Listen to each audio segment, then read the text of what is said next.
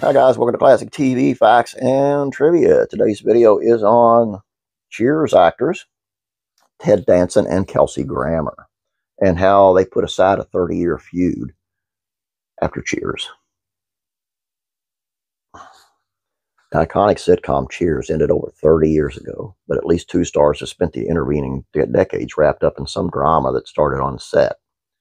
Now, Kelsey Grammer and Ted Danson are ready to bury the hatchet and move forward as friends, as they discussed on a recent episode of Where Everybody Knows Your Name podcast, co hosted by Danson and Woody Harrelson. During the episode, they opened up about an on set argument between them that happened sometime during the show's 1982 to 93 run. Danson admitted to Grammer, I feel like I got stuck a little bit with you during the Cheers years. I have a memory of getting angry at you once.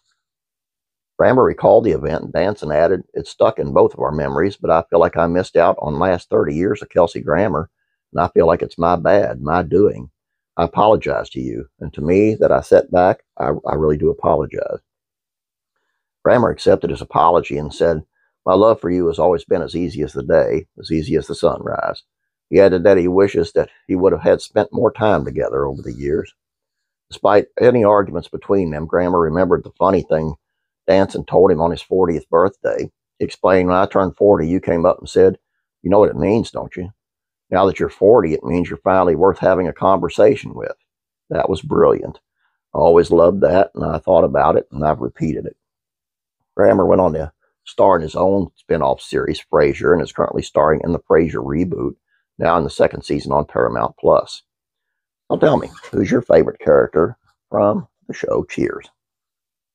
Or Frasier. Who is your favorite character? I love Frasier. I thought it was a great show. I, loved, I thought it was better than Cheers. And I love Cheers. Uh, haven't got to see the reboot yet. Don't have Paramount Plus. I'm kind of waiting for it to be shared and stream another streaming device or, or I finally buckle down and get Paramount Plus, I guess. But I have seen clips and stuff, and it looks really good. Um, all I got for you here, guys. I hope you enjoyed this. Please don't forget to subscribe. Please like this video.